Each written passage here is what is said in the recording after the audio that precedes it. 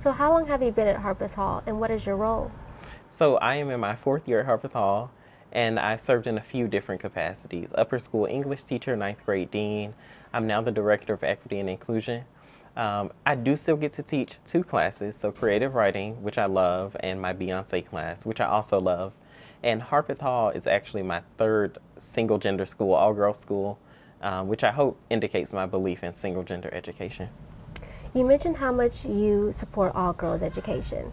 Can you tell me a little more about why that is and what sets Harpeth Hall apart from co-educational schools? Yeah, when I was doing my teacher training, so my clinical practice, I completed all of my student teaching in co-ed environments. And I did quickly notice that the girls did not take risks.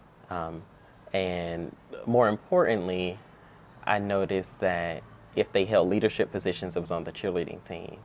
And so something I have seen at Harpeth Hall and love about the school is that students lead every facet of this, the learning organization. And so inside the classroom, curricular, co-curricular, they're asking tough questions and they aren't afraid to be silly or have fun in, in the classroom or may that be just on Subi Line conversing with friends about last weekend.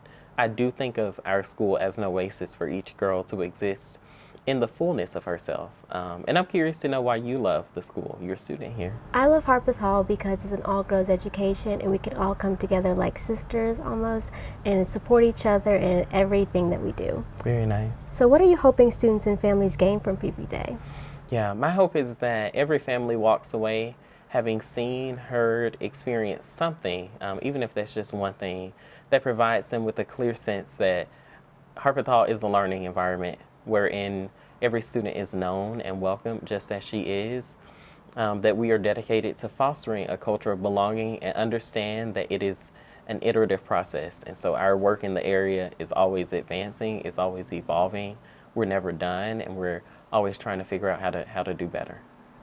So one final question. How does each member of, Harp of the Harpeth Hall community help foster a culture of belonging? Yeah, thank you for asking that, um, which I think is arguably the most important question. And something I say is that while I hold the title of Director of Equity and Inclusion, um, we recognize that the work falls on everyone in the community students, faculty, staff, administration, even parents.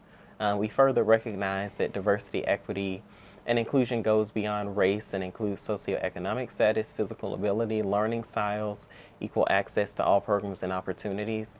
And by advancing equity in all facets of our school. And this is what I really hope families understand, that it benefits every student here. Um, and doing equity and belonging work together as a community is one of the many things that makes Harpeth Hall special. Thank you for taking the time to interview me. My pleasure.